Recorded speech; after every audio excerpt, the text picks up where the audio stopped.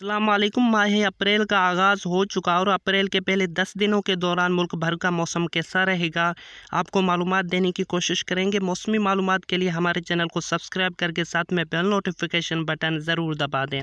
नाजरीन, अप्रैल के पहले दस दिनों में बारिशों के दो मगरबी सिलसिले मुल्क के मुख्तलिफ़ इलाकों में बारिश का सबब बनेंगे।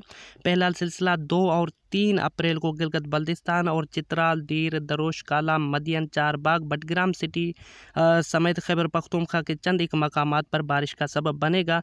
दूसरा सिस्टम आठ और नौ अप्रैल को बाली खैबर पख्तूनखा के मुख्तलिफ़ इलाकों, गिलगत बल्दिस्तान और कश्मीर के मुख्तलिफ़ इलाकों में बारिश का सबब बनेगा। लेकिन इस दौरान इस्लामाबाद, रावलपिंडी, लाहौर समेत जनूबी पंजाब के इलाके मुल्तान, बहावलपुर बहावलनगर रहीम यार खान, डेरा गाजी समेत पंजाब के बेशतर इलाकों में मौसम खुश्क ही रहेगा। कराची, हैदराबाद, सखर, लारकाना ठट्ठा बदीन समेत सिंध के तमाम इलाकों में मौसम खुश्क रहेगा।